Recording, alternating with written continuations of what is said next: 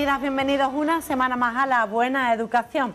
Esta primera parte del programa la tenemos cargadita de cosas, porque queremos hablar de un tema que nos parece muy interesante y muy importante, el plurilingüismo. Y tenemos el placer de tener en plató a dos integrantes, equipo directivo, de uno de los institutos, sino el instituto pionero en toda la provincia. Eh, se trata de Inmaculada Reina, directora del IES Arboleda, bienvenida, y Isabel Calvo, coordinadora de plurilingüismo.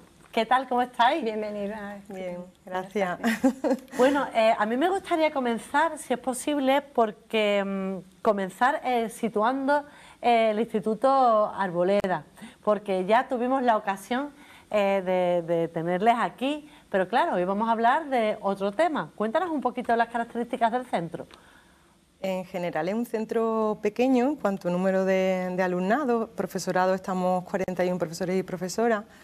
Eh, sin embargo, tanto la comunidad educativa en general eh, como el alumnado, las familias, el AMPA, eh, el personal laboral son mm, personas muy implicadas, muy colaboradoras y especialmente el, profesorado del, centro, que con la dedicación plena.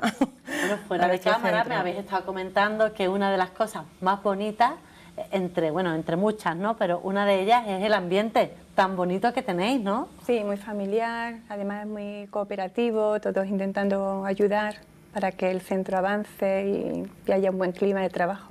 Bueno, es que eso eh, es tan importante, que haya un buen clima de trabajo, que haya cooperación y que haya ese, en definitiva, buen rollo. Em, Arboleda, em, bueno, eh, recuerdo que hace unos meses mostramos un taller de flamenco, que eso fue maravilloso, que vamos a ver las imágenes eh, para recordar eh, mientras en la entrevista. Mira, aquí, aquí tenemos ese, ese taller maravilloso, pero ¿qué proyectos tenéis para este curso? Pues ese año, y me lo he traído anotado ah, para no saltarme a nadie, hay una serie de programas para la innovación educativa que son anuales como Vivir y Sentir el Patrimonio, que tiene un enfoque de, para el pensamiento visual de, lo que es nuestro entorno artístico, histórico, cultural. El programa Forma Joven en el ámbito educativo para hábitos de higiene y vida saludable, con educación emocional, estilo de vida saludable, sexualidad, relaciones igualitarias, uso positivo de las TICs, prevención del consumo de sustancias, aula de cine este año eh, una de nuestras compañeras coordinadoras se ha lanzado para fomentar el interés por el cine general y en especial el cine de, autor andaluz. El programa Comunica, que eh, lo que hace es fomentar la oralidad, la electroescritura, creatividad, funcionalidad y la alfabetización emocional. Y luego proyectos a dos años, empezamos el año pasado con el programa STEAM, en donde se han hecho proyectos de investigación con eh, la ciencia, las matemáticas, la tecnología, el arte y la ingeniería la transformación digital educativa, en el que estamos todos los centros de Andalucía Madre mía, tenéis cantidad de proyectos. Sí, y luego ya permanentes, como el, el, plan de igualdad, que este año hay una asociación del puerto, Imeris, que nos va a llevar al centro el programa Previge para la prevención de situaciones de abuso y maltrato entre adolescentes, y luego junto a la Asociación de Prensa de Jerez, el programa La llave maestra de la comunicación en su séptima edición y van a estar allí pues mm, monitores, monitoras en el, dando pues pinceladas sobre el periodismo. Mira, pues mira qué bien. Les va a venir muy bien. La parte que nos toca por aquí, ¿eh? a los alumnos y a las alumnas y luego, bueno, pues nuestro proyecto estrella que es el, el plurilingüismo. Bueno, vamos a centrar, porque claro, eh, vuestro instituto es pionero en plurilingüismo, ¿no? ¿Cuánto tiempo lleváis?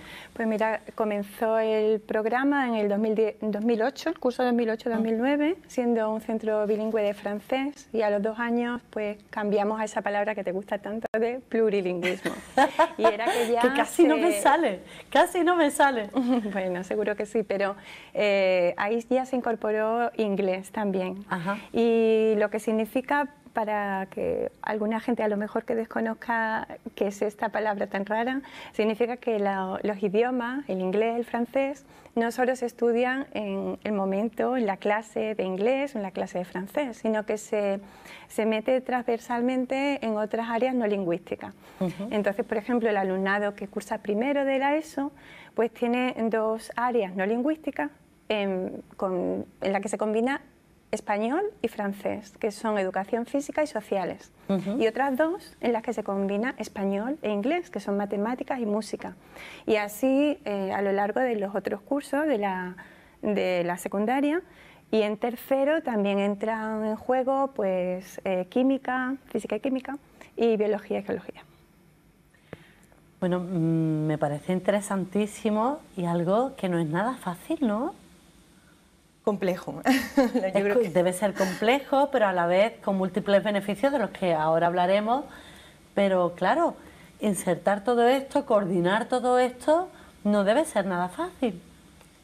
En un principio no, pero como hemos hablado antes, hay muchísima implicación del profesorado, con un nivel de idioma muy alto y sobre todo la gana, la disposición, la voluntariedad, la colaboración, que yo creo que, que en ese sentido pues tenemos que poner en valor todo, todo eso que podemos aportar. ¿Cómo sale el alumnado? Pues sale muy bien preparado del centro. los que quieren y aprovechan el programa pues salen con un nivel mm, tanto en inglés como en francés del B2 y en alemán que se ofrece como optativa pues a lo mejor tienen una 2 o algo así. Son una 2, estamos hablando de unos niveles bastante importantes. A2 en alemán, que es optativa y que solo mm, se ha ofrecido como una hora semanal. Eh, inglés y francés, B2, C1, depende, porque cada vez está más preparado el alumnado. Es increíble, ¿eh?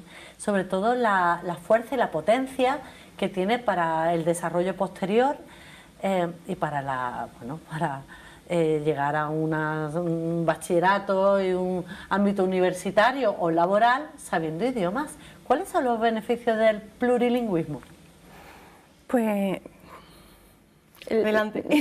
ambas, podemos comentar muchas cosas, ¿no? porque mm, es la apertura ¿no? de mente, abrirte a otras opciones, otro, eh, el trabajo que aquí tampoco abunda para los jóvenes, esos proyectos que ellos necesitan, no es porque los jóvenes no estén preparados, están más preparados que nunca, hay que darle una respuesta, hay que buscarle que se puedan quedar aquí, porque son muy beneficiosos aquí, están más preparados que nunca.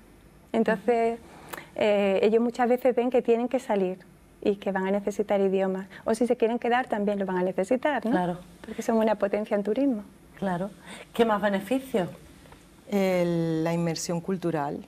Tenemos tanto desplazamientos al exterior, al extranjero, eh, donde residen con familias un número X de días, una semana, 10 días, y eh, en sentido contrario, ese, ese alumnado de esos, de esos otros países también viene aquí, se les muestra lo mejor de nuestra tierra, que también tenemos que decir que salen encantados con nuestra provincia.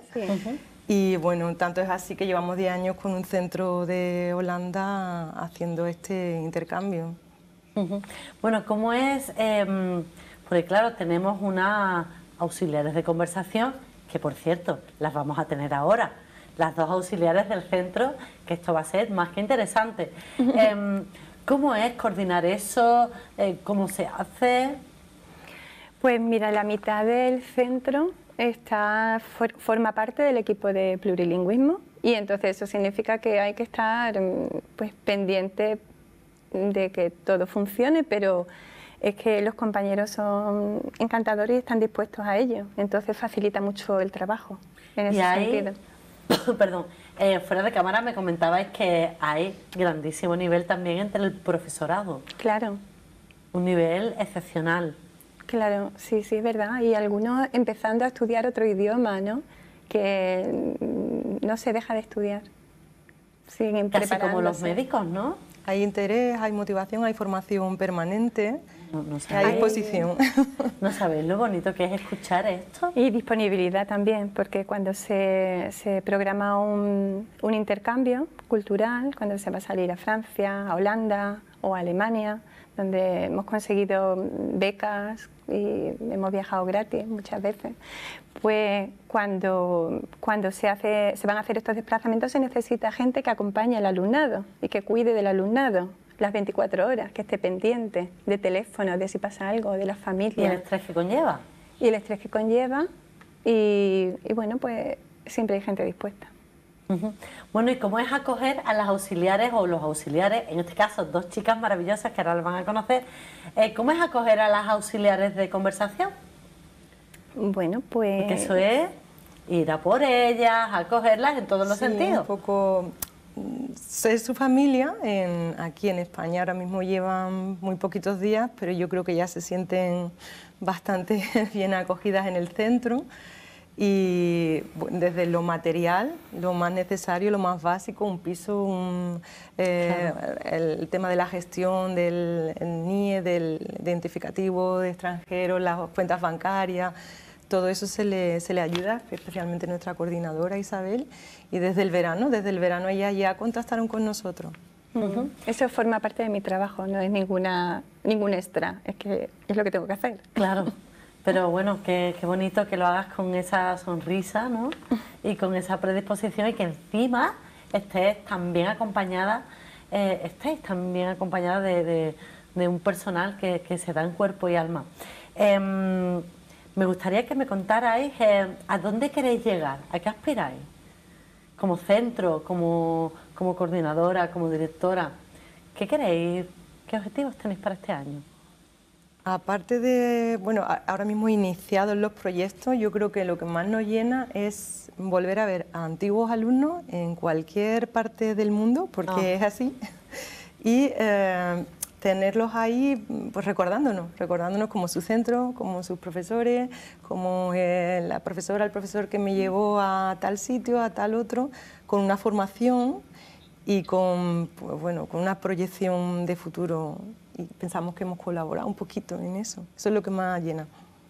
Bueno, pues muchísimas gracias a ambas y ahora vamos a conocer eh, a las auxiliares, ¿no? Pero no sin antes daros las gracias, eh, que, sé que, que, sé que bueno, no, no es fácil venir hasta aquí y tal y ofrecerse y desear muchísima suerte. Gracias. Muchas gracias a vosotros por darnos la oportunidad. Bueno, es, un placer contar con personas y personal, eh, profesionales como vosotras. Eh, no vayáis porque vais a conocer a Dorian y Madeline.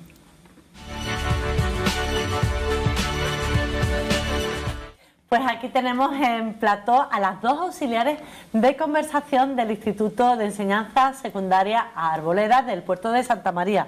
Bienvenidas, Dorian, Madeleine. No sé si lo he dicho bien. bueno, más o menos. No está bien, está bien. Sí, está bien. Bueno, em, vosotras sois eh, francesa y estadounidense eh, que habéis, bueno, resuelto venir al puerto de Santa María, a un instituto, a, bueno, a trabajar de auxiliar de conversación en este área de plurilingüismo. ¿Cómo os va? Contadme, ¿cómo, ¿cómo habéis terminado aquí?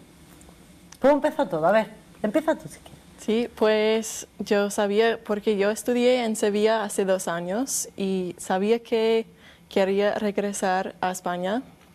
No sabía cómo iba a hacerlo, pero después de la graduación de la universidad, yo eh, encontré este programa um, con el, el, gobierno de, de España para ayudar con el inglés en las escuelas y dije, ¿por qué no?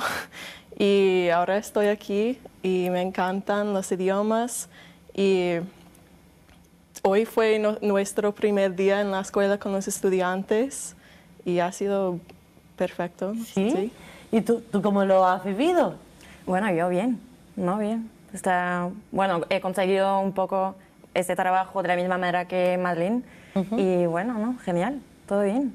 Bueno, ese primer día, ¿cómo ha sido? Porque enfrentarte a una clase no es fácil. ¿Cómo ha sido esa experiencia? Pues para mí muy bien. Los estudiantes quieren que hable en español, pero solo puedo hablar en inglés con ellos y están muy, como, tienen mucha energía y siempre están hablando, pero... ¿Adolescentes? Los adolescentes ya sabemos cómo son. Sí, pero me encanta porque están muy, como, listos para aprender y... Muy motivados. Motivados, sí. ¿Y tu experiencia de tu primer día? Bueno, yo... ¿Tenías nervios? Sí, un poco. Bueno, pero por suerte ya tenía experiencia. Nervios bonitos, nervios bonitos, ¿qué se y Ya tenía experiencia con unas clases, así que tampoco era la primera vez para mí. Ajá. Pero claro que sí, me sentía un poco nerviosa y bueno, no, genial, que bueno, con el francés es un poco más complicado porque creo que los alumnos se interesan más al inglés que al francés, Pero, así que tengo que estar más... Tienes que esforzarte el doble. Eso es. Pero bueno, ¿no? Eh, están, ¿no? están listos también y interesados y bueno, poco a poco también. Eh, que, ¿Cómo veis vuestra experiencia, cómo veis el futuro aquí? Porque claro, habéis, estado ya en España, tú has estado en Sevilla, eh, tú has, estado también. Sí. ¿Cómo veis, ¿Cómo veis esta ciudad? ¿Cómo veis el puerto? ¿Cómo veis el instituto? Desde vuestra óptica de extranjeras, ¿cómo lo veis? Bueno, es una experiencia y yo creo que lo, eh, lo que está bien con esa experiencia es que es un intercambio. Yo con el idioma, pero ellos con la cultura, con el idioma también, y para evitar el puerto, Cádiz y, y y todas las ciudades cerca y todo eso. Así que es un intercambio y eso me gusta mucho. Ajá. Sí, yo también puedo practicar mi español y aprender como la cultura y me encanta como eh, la experiencia porque eh, vivir en el extranjero es algo muy, es un desafío y me gusta como tener retos en mi vida y hacer cosas que no son muy fáciles como... Y conseguirlo, ¿no? Porque veo que las dos tenéis una meta y vais a por ella y la conseguís. Sí. no te voy a decir que no. ¿Cómo veis eh, en, en, un tiempo? ¿Querríais seguir dando clases? ¿Os gusta la enseñanza? Sí, creo que porque tengo mucha experiencia con dando clases de porque también estudié francés en la escuela, dando clases de francés. mira, francés también. Hablamos francés a veces. Ah, sí. sí. Um, todavía no el inglés. No. um, pero sí, tengo experiencia dando clases en español de francés y de inglés también. Y, pero no, nunca con los alumnos, los adolescentes, normalmente con uh, los estudiantes en la universidad o los adultos, así que es una experiencia nueva, pero me gusta el primer día ha sido maravilloso. Supongo que mm, de manera muy parecida. Sí, sí, y yo, bueno, estoy estudiando para ser profesora de francés eh, al extranjero, así que estoy estudiando a distancia ahora con una, una universidad francesa, así que claro que me voy a dedicar a eso. Bueno, eh, conocéis muchos idiomas, mm, ¿Cómo, qué, os parece el español? ¿Es difícil, fácil, más o menos que el vuestro? Mm, Sí, más o menos. Creo que hay cosas difíciles, más simples, bueno, más sencillas. ¿Y os parece bonito el idioma? Sí. Sí, es muy bonito. Los acentos son porque hay muchísima como variedad en español en Latinoamérica, en España también los acentos, así que es un desafío um, comprender y entender todo, pero me encanta el español. Oye, y ahora que no nos escucha nadie, ni nos ve nadie, ¿Cómo os han acogido? Ah, bien. No, no, eh, si tenemos problemas o todo, que están aquí para ayudarnos. ¿Han hecho comunidad? No, no, sí. Eso, eh, eso desde este verano, que mm, yo podía hablar de los problemas que tenían y, todo, y no, no, es muy agradable eso. Sí. también, imagino, ¿no? Sí, especialmente con la escuela y todos los profesores, especialmente Isabel, me ha ayudado muchísimo y el ambiente es como muy tranquilo y amable. sí. Bueno, chicas, pues ha sido un enorme placer teneros en plató, eh, que nos contéis vuestra experiencia y sobre todo lo importante que es la, enseñanza, el aprendizaje de idiomas y, un instituto plurilingüe pues mm, de altísima calidad. Muchas gracias, chicas. A ti. Gracias. Bueno, pues nosotros nos vamos unos minutitos a Publi, pero no se me vayan, que seguimos con más cositas.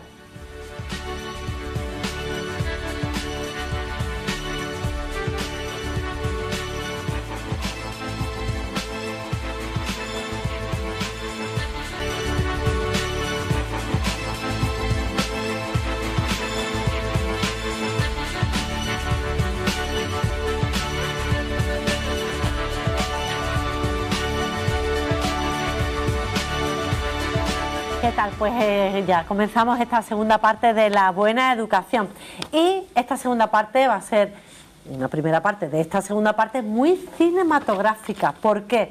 Porque em, queremos saber más sobre eh, un cortometraje que se llama Aprendimos, que está realizado por David Sánchez del Instituto de Enseñanza Secundaria Muñoz Seca y la alumna que ha participado, una de las alumnas que ha participado en él, Lucía Gutiérrez. Lucía, David, bienvenidos, bienvenida. Muchas gracias. Muchas gracias. ¿Qué tal estáis? Lucía, tú estabas un poquito nerviosa, pero yo te veo ya divinamente. un poquito, un poquito estoy todavía. Bueno, este, este corto ha sido premiado, David. Sí, sí. La verdad que, bueno, pues este cortometraje tenemos la suerte de ya contaremos un poco cómo ha ido todo, pero la guinda mm, por la que yo creo que estamos aquí mm, comunicando nuestra experiencia es porque ha sido premiado al mejor audiovisual eh, por el Consejo Audiovisual de Andalucía de la Que no es poco, que no es poco, señores, porque, eh, a ver, es una institución muy importante y, a ver, no es cualquier cosa. Y bueno, y al ser nuestro primer corto, algo realmente, en cierto sentido, bastante amateur, hecho con muy buena voluntad, y con mucho cariño por, nuestro alumnado y por nuestro profesorado, pues que, pues que sea premiado. Para nosotros es algo que es que mm, no nos lo esperamos, o sea, estamos todavía asimilando ese, ese premio que nos han dado. Bueno, ¿tú cómo te has tomado esto del premio, Lucía? Hombre, pues la verdad que con mucha alegría, porque sabiendo el trabajazo que tiene detrás, que no es poco, la verdad es que mm, con muchísima alegría y muchísima felicidad la verdad. Bueno, ¿cómo surge la idea de hacer este corto? Bueno, pues la idea surge de, un grupo de, profesores. Yo soy coordinador de lo que se llama el aula de cine, del Pedro Muñoz Seca. Y bueno, pues mucha, siempre hablamos los profesores de que una pena de que cuando conseguimos, con tanto esfuerzo, conseguimos hacer eh, una serie de trabajos, una serie de actividades con los alumnos, que eso no, no, no se dé a conocer, no vea la luz. Y estuvimos dándole vueltas hasta que pensamos que ya, que, ya que a nuestros alumnos les gusta mucho el tema audiovisual, de por qué no hacer un cortometraje con ellos que pueda ser visto no solo en, dentro del instituto, mm, no solo en la provincia, sino que bueno, intentar de una manera muy humilde mm, intentar que tuviera cierta repercusión. estamos viendo ahí unas imágenes, no sé si queréis comentarlas. Lucía, cuéntanos. Pues la verdad es que ese día nos lo pasamos muy bien, porque estábamos todos nuestros compañeros y estábamos trabajando todos juntos, que eso la verdad es que por culpa del COVID, como que nos habíamos separado un poquito, porque como teníamos las clases semipresenciales, No, nos, no nos veíamos todos y gracias al corto pues nos pudimos volver a, a retomar. Y la verdad es que nos lo pasamos muy bien. ¿Y queréis ser actrices? Hombre, bueno, bueno. ¿Os ha dado la venilla? Tú sabes, a ver, estaría bien. La verdad es que es una carrera muy interesante, pero aquí cada uno tiene sus preferencias. Ya, ya imagino. David, ¿cómo ha sido trabajar con, ellos y ellas, con este alumnado? Pues la verdad que, que muy bien. A priori uno piensa que hacer un cortometraje con 50 adolescentes, pues puede De volverse loco. Volverse la loco verdad, David. es poco. Pero estuvimos muy bien asesorados por nuestros amigos Sergio Ceballos y Miquel Gil de la asociación Shorty uh, Week. Claro. Y ellos, pues ellos son los que, bueno, los que han estado ahí, se ven en las imágenes, le contamos nuestro proyecto y ellos, pues, le encantó. O sea, para ellos también era un desafío, a pesar de que son, vamos, hacen unos cortometrajes fantásticos, son los directores del Festival Shorty Week. Pero el tema mm, adolescente, mm, verse insertos, como se ven ahí en las imágenes, en un instituto, con todo lo que eso conlleva, con las dinámicas entre adolescentes, pues a ellos les daba de, primera un poco de respeto, me dijeron. Pero bueno, mm, se metieron, se metieron, vamos, hasta el cuello y, el resultado se lo debemos a ellos porque, porque ahí están, han, sabido sacar lo mejor de nuestros alumnos, que, nuestros alumnos que son impresionantes, pero ellos han conseguido que todavía eh, luzcan más. Bueno, yo eh, te, estoy viendo mientras hablas de ello y se te pone una chispita en la cara. sí, sí, los docentes, pues es nuestra vida. Nuestras mañanas son, estamos con ellos y el hecho de, que, de hacer algo de lo que ellos se sientan orgullosos, pues para nosotros es algo impresionante porque esto lo hacemos por ellos y para que vean pues otro tipo de cosas, tengan otras referencias, conozcan otro mundo distinto del día a día, de las clases y bueno, pues que yo espero que esto les sirva a ellos en su futuro. Eh, ¿Cuál es, cuál es el, o cuál ha sido el principal objetivo para ti de este cortometraje?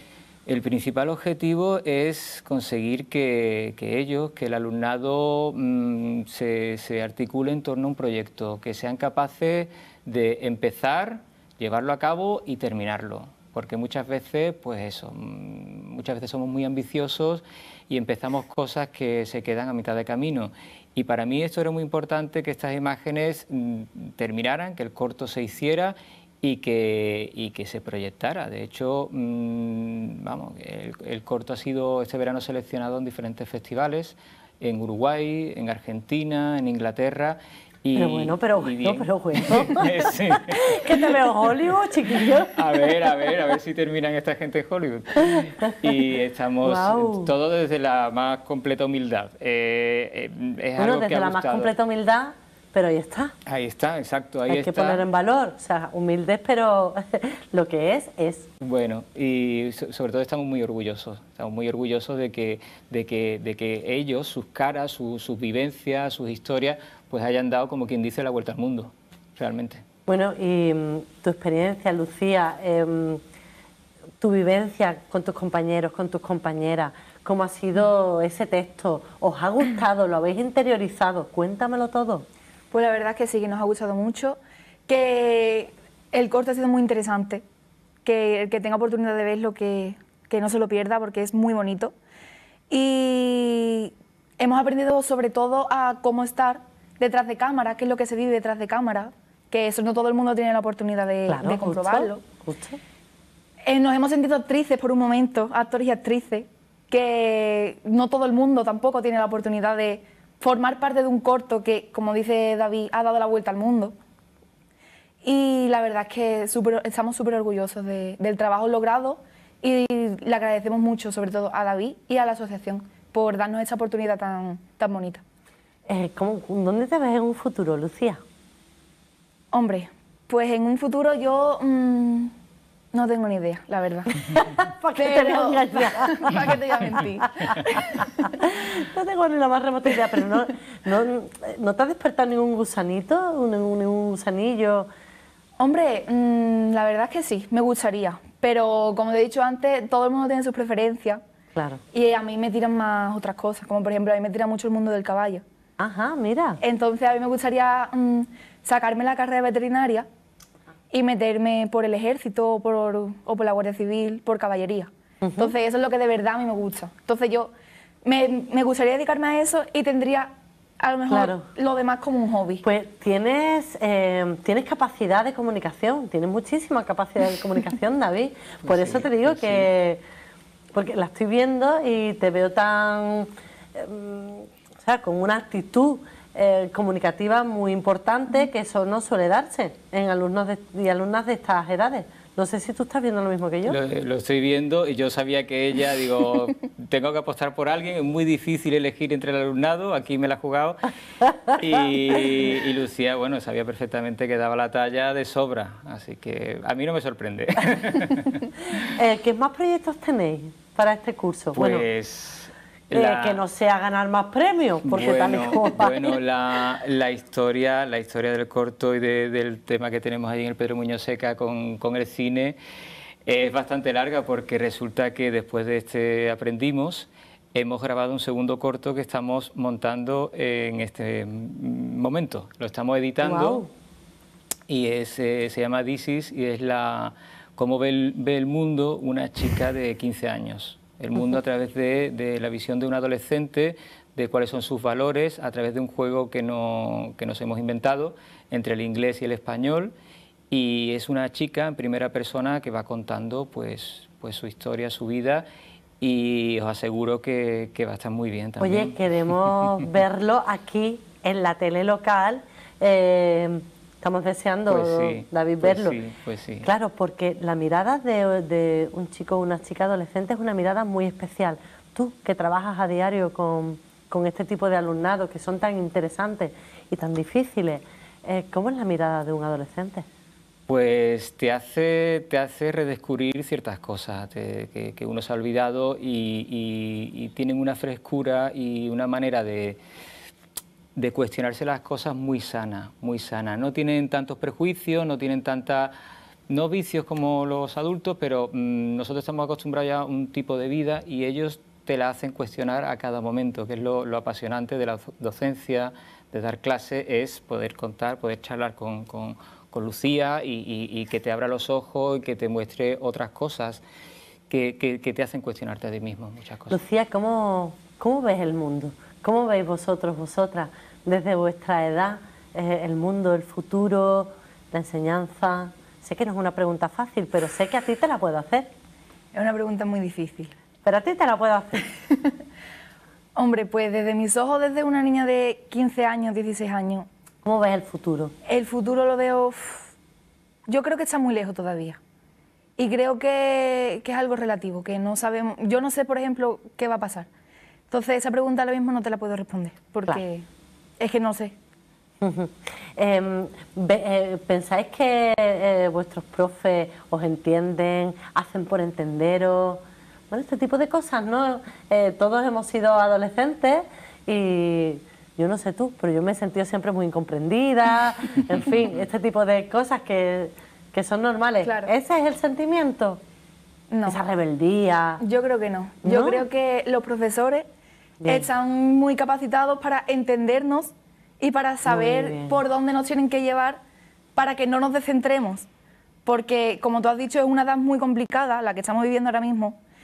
Y creo que, que ellos están perfectamente capacitados para saber qué es lo que nos tienen que decir, que nos puede gustar más o lo que nos puede gustar menos.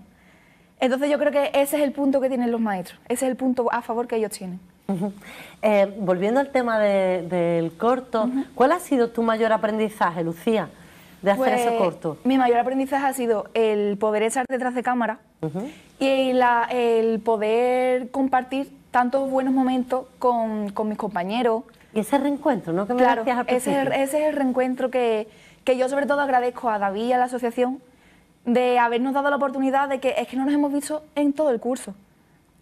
Entonces, es que es mucho, es que es mucho. ¿Cómo habéis llevado vosotros la pandemia?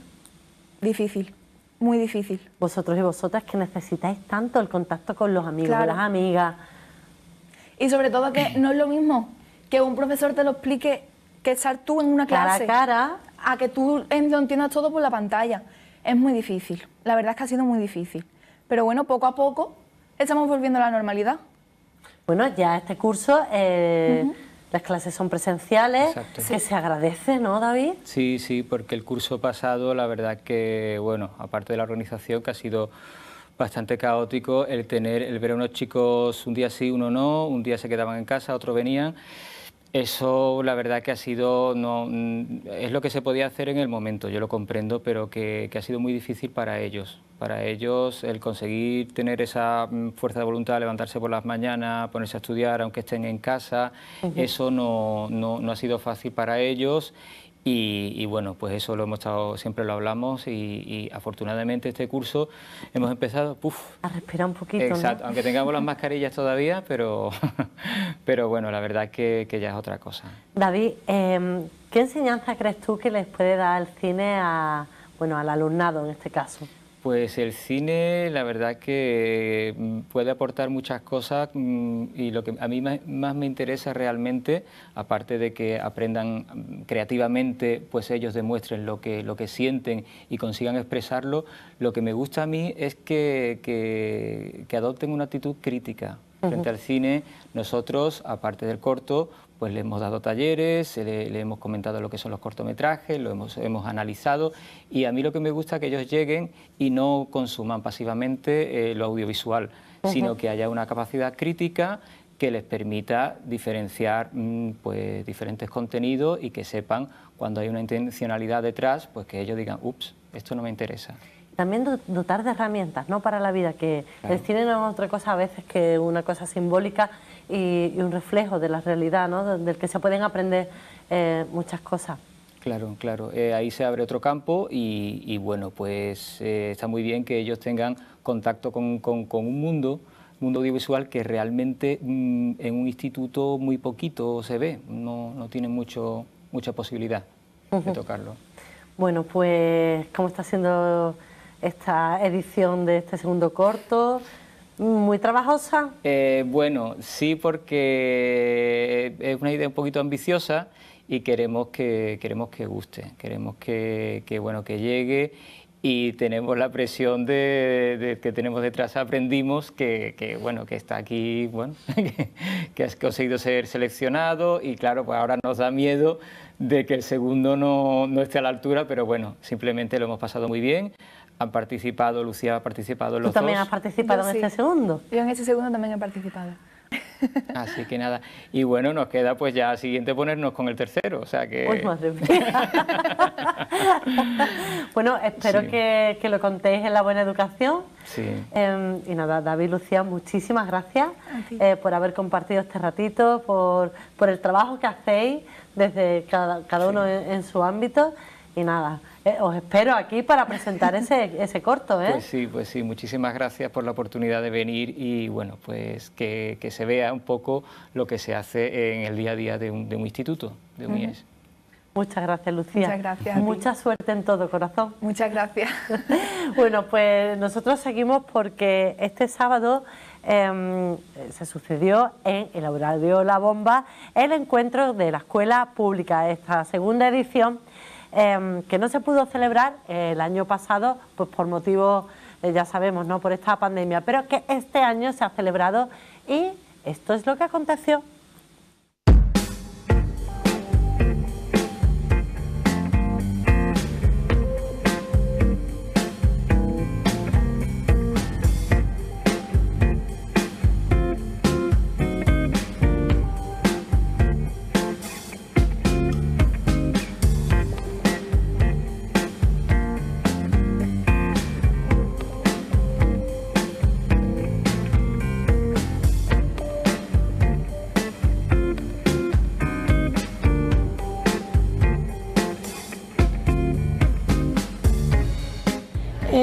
Yo me llamo Patricia Garzón Sánchez y dentro de la coordinadora lo que llevo yo es, eh, digamos, el grupo de proyectos, el equipo de proyectos de la coordinadora. Pues sí, eh, esta, esta coordinadora nace con esa vocación, defender la escuela pública que está siendo asediada hasta el punto de que ahora mismo en Cádiz el 30% del alumnado solamente está en la pública y el 70% está en la concertada.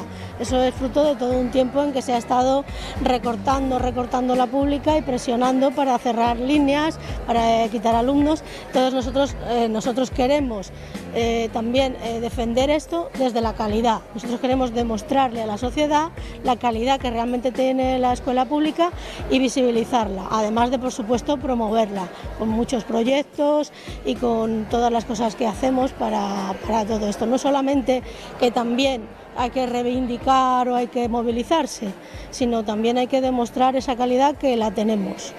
Hombre, llevamos cinco años trabajando y ya se han hecho cosas muy interesantes y por supuesto eh, queremos que se, que se, vean, que se conozcan, pero sobre todo tenemos la visión en el futuro. Entonces tenemos proyectos muy potentes para, para este curso y para más adelante. Además hemos, como se puede ver ahora en los stands que tenemos aquí preparados, hemos llegado a acuerdos con, con asociaciones de la ciudad, con muchas asociaciones, que de por sí ya estaban creando y generando eh, actividades y talleres para la escuela y ver cómo todos ellos podemos, pueden colaborar con nosotros y también dar a conocer todos esos talleres y todas esas actividades que hacen, que son interesantísimas y que nos pueden servir de muchísima ayuda eh, en, toda, en toda la educación. Tenemos en nuestra, en la coordinadora tenemos sobre todo familias y profesorado, pero también tenemos un buen grupo de alumnado. Y son asambleas abiertas donde todo el mundo puede entrar y desde esas asambleas se toman las decisiones y se generan luego las comisiones donde se reparte, eh, se reparte el trabajo. Entonces todo el mundo puede que quiera puede estar en la coordinadora de la escuela pública.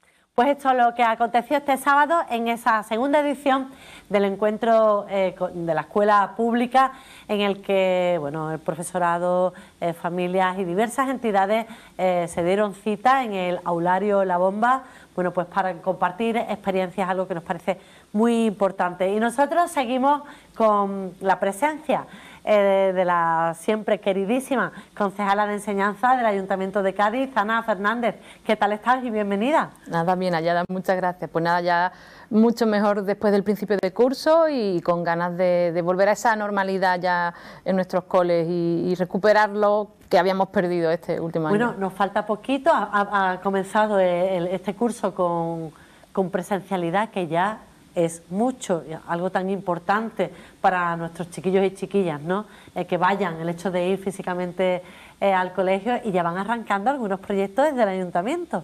Efectivamente, desde enseñanza, que es lo que gestionamos directamente, como sabéis, habíamos eliminado los talleres, no tenían sentido con el COVID, los recuperamos este año. Eh, con, más ganas y, bueno, la oferta se envió ya la semana pasada a, a los centros y deseando bueno pues pues que, nos vayan que se vayan apuntando que nos vayan diciendo que, les interesa y que podamos volver a, esa, a esa, normalidad eh, Ana, talleres eh, sobre qué cuestiones, o sea, eh, retomamos los de hace dos cursos. Son, en parte son talleres nuevos y en parte son talleres que repetimos. ¿Alguna novedad que nos puedas contar? sí, claro, os cuento. los talleres se, se engloban por edades, lógicamente, desde primaria hasta sexto. En primaria se van a ofrecer de, mm, eh, creatividad, porque nos parecía, en, ah, primero de primaria, claro.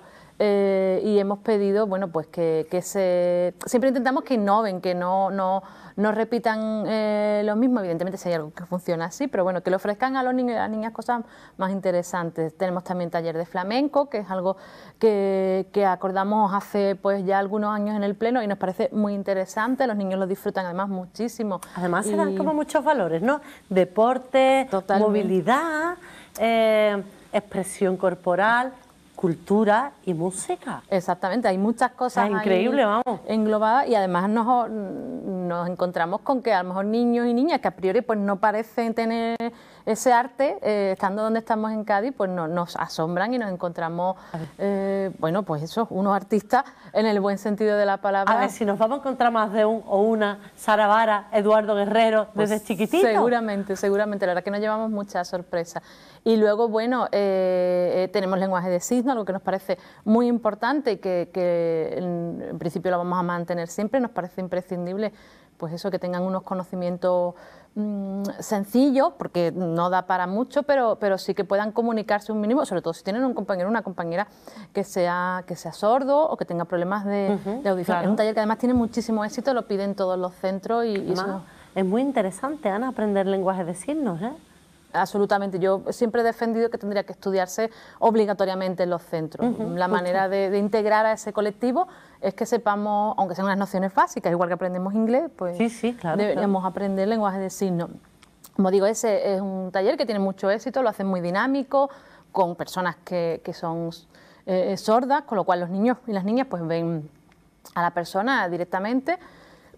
Perdón eh, como digo, muy interesante. Este año además le hemos pedido eh, que como estamos optando al Congreso de la Lengua, pues que incluyan algún concepto, alguna palabra, perdón, de las nuestras y que las aprendan Claro, con el lenguaje de signos. Con, esto del Congreso de la Lengua, Ana, que estamos todos eh, encantados de la vida, haciendo ver nuestras palabras y nuestras historias, nos parece interesantísimo pues eh, precisamente eso, ¿no? Em, que haya un taller que también eh, lleve a este, a este cauce. Claro, entonces, mm, en general, hemos pedido a todos los talleres que incluyan algo que tenga que ver con la lengua, pero hemos pensado que unir el lenguaje de signos pues con nuestras oh. palabras, con pues con candié, con guachinay, con quillo, era como una mezcla muy Bastinazo, entonces era una mezcla que nos parecía muy interesante. Eh, la gente del taller nos ha dicho que por supuesto y a ver qué sale de ahí. Ya os, contaremos porque la idea es que se, se, cuente, se vea, se difunda, pero nos parecía muy interesante. esperamos dar cuenta de la buena educación, ¿eh? Ah, totalmente, contamos con que estéis, con que estéis ahí y, y como digo, este tenemos pues como una especial interés en verlo. Y luego los dos últimos talleres para los niños de quinto y de sexto, que son engloban en un, ámbito que se llama ciudadanía, formación de la ciudadanía. Eh, en sexto o en quinto, mejor dicho, vamos a hablar de, medio ambiente, cambio climático, eh, mm, conservación del medio ambiente, es algo que creemos que tiene que estar en el currículum y ofrecerlo pues también de una manera dinámica, una manera divertida. Y en sexto, pues eh, recuperamos el pleno infantil. Ese, por eso decía que este sí lo repetimos completo, pero fue un éxito, nos parece que es una experiencia maravillosa, estuvisteis allí, eh, eh, es algo bueno pues que merece la pena estar. Los niños y las niñas nos dieron un ejemplo de, saber estar, de defender sus posturas, que ya quisiéramos los concejales y las concejalas. Y, la verdad que nos, daba mucha pena que los niños que han salido de sexto el año pasado no pudieran hacerlo. Entonces, bueno, como digo, ese lo, vamos a mantener y, y, es un taller que tiene otra parte, la que bueno, pues ellos aprenden pues eso, a, preparar los temas, a defender su postura, algo que nos parece, bueno... oratoria, debate, claro, que en otros países, oral, o sea, una exactamente, en otros países algo que se aprende también. Claro, claro, y además pensamos que es algo esencial, Ana. Claro, porque al final, bueno, para presentarte unas oposiciones... Para todo eh, para, Exactamente, es necesario. Y para defenderte ante cualquier cosa, ¿no? Claro. Eh, aprender, eh, pues, a defender tus argumentos, bueno, con argumentos válidos, sanos y potentes. Eso es algo que se debería dar en las escuelas también como, como asignatura obligatoria. Algunos la tienen, ¿eh? Algunos de los colegios, eh, San Felipe Neri tiene, eh, que, que, lo tienen como muy importante, ¿no? Esa oratoria y, y los clubes de debate, que son tan, eh, tan famosos. Pues sí, que es algo como muy anglosajón, pero que yo creo que que tenemos que empezar a, asumirlo y, bueno y también que entiendan pues cómo, cómo, cómo se toman las decisiones, ¿no? Dónde se toman las decisiones, en qué espacio. Entonces, en principio eso es lo que ofrecemos desde la delegación y, empezarán, bueno, pues seguramente en el segundo trimestre. Bueno, eh, concejala, em, no sé si tenéis algo claro, pero ¿y las Olimpiadas? Uf, las Olimpiadas. Pues ahí estamos dándole vueltas porque no queremos que pase otro año más sin hacerla, pero la Junta sigue, es decir, las instrucciones de la Junta son básicamente las mismas que el año pasado y, habréis visto que los niños y las niñas entran de manera escalonada, que siguen manteniendo los grupos burbuja, entonces mm, estamos ahí viendo un poco qué, hacer. A ver cómo lo hacemos, ¿no? Sí, igual, igual nos tenemos que sentar con el delegado y y plantearle opciones. Estamos ahí dándole, dándole vueltas. Querríamos hacer algo, lo, hemos hablado otras veces, no queremos que pase siempre un te lo pregunto, Ana, porque yo creo que es como el culmen ¿no? de actividades de, em, que se organizan también desde el ayuntamiento y que es tan bonito cómo se une el ambiente que, que hay, ¿no? De, em, bueno, pues de unión de todos los coles, del alumnado, de los profes y bueno... Sí, sí, es una experiencia que, que, además yo creo que no, no éramos conscientes ninguno ni ninguna de las partes que estábamos organizando de, lo que iba a ser, ¿no? Y hemos ido increciendo, eh, empezamos desde una participación mm, buena pero más modesta hasta las últimas que fueron mil, mil hablo de memoria, 1.250 niños casi, 1.300 niños. entonces, bueno, hemos ido ajustando las fechas porque las primeras nos coincidieron con las comuniones y ahí hubo un conflicto entonces, sí, es verdad que sí. Además, mm, luego hay, ha habido casos de niños y niñas que se han hecho amigos en las Olimpiadas. siendo de coles diferentes, eh, se crea pues eso, una, una, relación y rompemos muchas veces lo que decimos, ¿no? las barreras, de decir, está muy bien que tú te identifiques con tu cole, todos lo hacemos, yo estudié en, y eso es como algo que te identifica, ¿no? Claro. Pero aquí rompemos un poco esas barreras y competimos todos. Además, las competiciones han sido siempre muy sanas, no hemos tenido ningún problema. Al contrario, hemos tenido que echarlas prácticamente a los niños y decir, oye, iros ya a casa. Entonces, la verdad que la experiencia es muy bonita y ver esa, esa, ese conjunto de niños y de niñas todos juntos, con sus carteles hechos por ellos, de sus coles. Entonces, algo tenemos que hacer. Es decir, aunque sea una competición mixta, algo en los diferentes coles, estamos ahí dándole vueltas y me consta, bueno, que Amparo la directora del cole y el AMPA tienen muchísimas ganas. Está todo preparado porque tenemos todo, las camisetas, la cartelería, el material. Unos días antes de, de confinarnos, que vaya tela. Es que fue, fue bueno, eso, el, creo que fue un jueves cuando, cuando se da se informa del confinamiento y, ese viernes empezaban. empezaban. Entonces está todo listo. Así que, bueno, os contaremos cuando lo decidamos, pero la voluntad es, de hacer algo, aunque no sea como, como esperemos, pero de no, que no pase un año más sin Olimpiadas escolares en, organizadas por la, pública. Sí. Pues nada, que así sea, eh, concejala. Muchísimas gracias por haber estado con, con nosotras. Eh, para, bueno, para la buena educación es un enorme placer siempre tenerte eh, aquí, que nos cuentes cositas y te esperamos para la próxima. Ya sabes que eh, nos encanta que estés, siempre te estamos llamando. Nada, sabéis que a mí me encanta que me dejéis hablar de educación y de estas cosas, así que encantada. Cuando me llaméis sabéis que aquí estaré. Muchas gracias, concejala. Pues nosotros nos despedimos. no sin antes desearos toda la felicidad eh, que haya en esta tierra para vosotros y para vosotras. Nos vemos la semana que viene. ¡Mua!